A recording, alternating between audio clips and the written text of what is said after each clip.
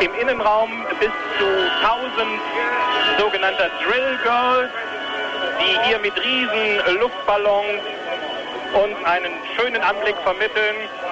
Und hier läuft der Countdown und achten Sie bitte dann auf einen Mann, der in einer Mondfahreruniform erscheinen wird. Er heißt Bill Suter und er wird mit Trägerraketen in einem über 100 Pfund schweren Rucksack gleich im wahrsten Sinne des Wortes einfliegen.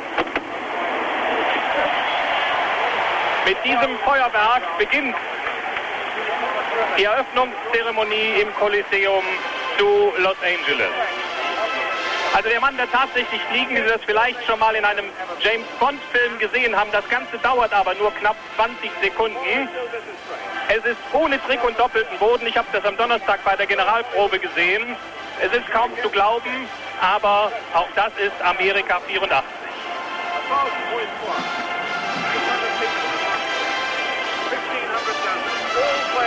150 Fanfarenbläser.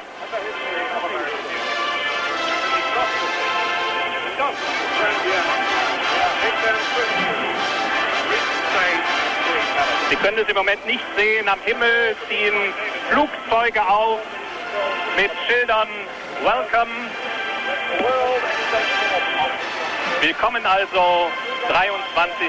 Olympiade, so heißt es hier in verkürzter Form. Auch ein Zeppelin mit dieser Aufschrift kreuzt jetzt Olympischen Spielen willkommen.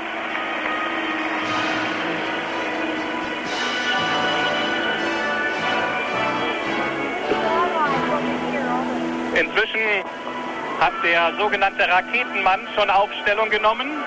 Moment er ab. Wie gesagt, das alles ist echt und ohne Trick.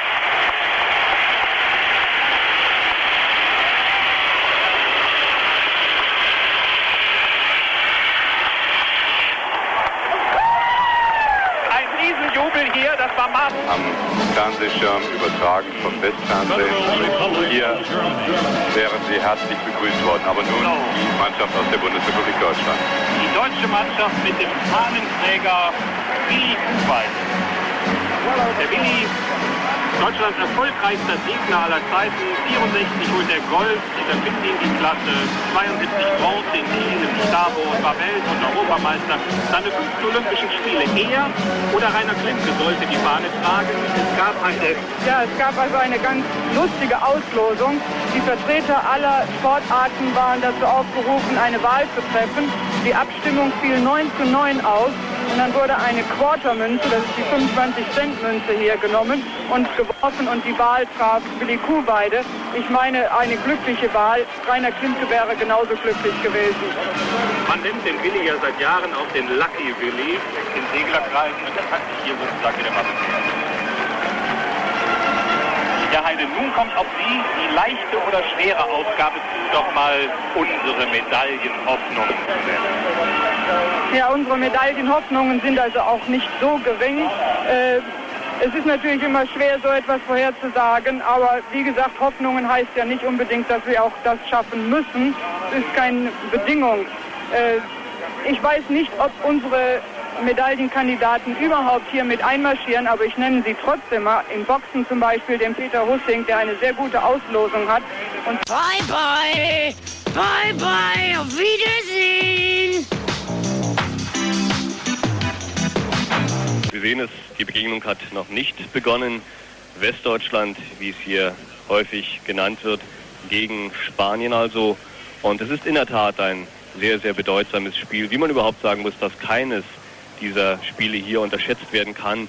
In der zunächst von vielen als vermeintlich leicht angenommenen Gruppe.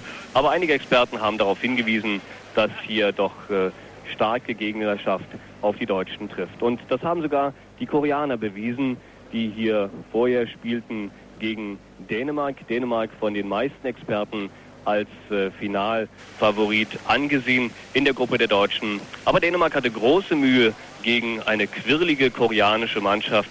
Am Ende gab es nur ein 31 zu 28 und die Zuschauer, sie waren durchaus begeistert von der Art, wie die Koreaner den Ball führen, ihre enorme Schnelligkeit umsetzen von ihren Harpunenangriffen. Und das ist ja überhaupt ein Phänomen, wie Handball hier in den Vereinigten Staaten ankommt. Man hat ja in den Zeitungen und äh, auch sonst im Fernsehen versucht, äh, das Ganze den Leuten näher zu bringen.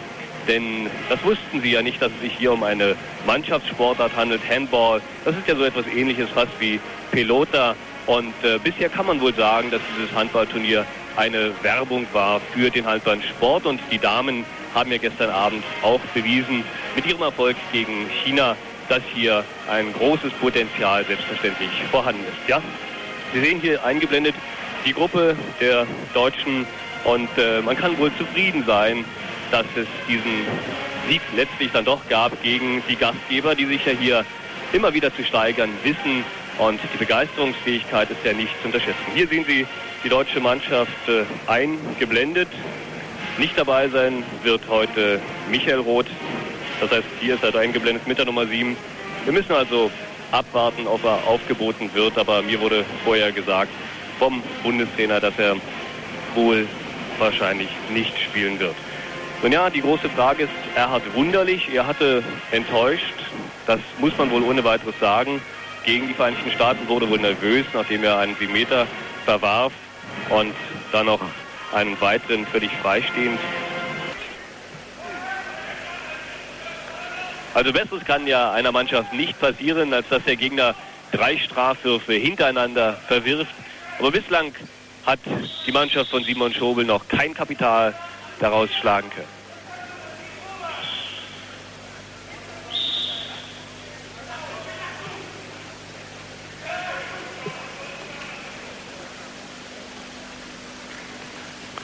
Konzentriert, ja, da hängen sich gleich zwei an den Spanier. Nehmen ihn in die Zange. Timeout.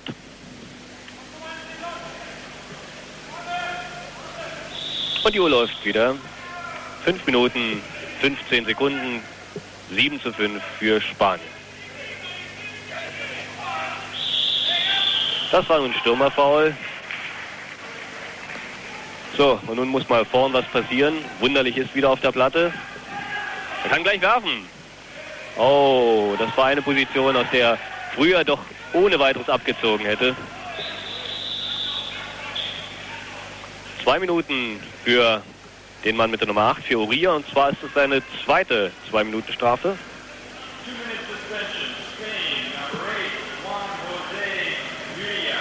Die Frage stellt sich wirklich, äh, ob Simon Schobel nicht doch bald einmal Michael Paul bringen sollte, der ja mit seinen verzögerten Sprungwürfen immer wieder in der Bundesliga für Furore sorgt. Und hier ist er.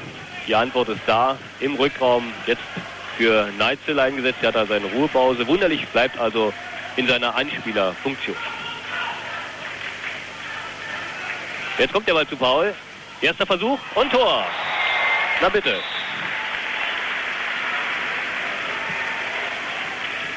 Michael Paul von TV Großwaldstadt.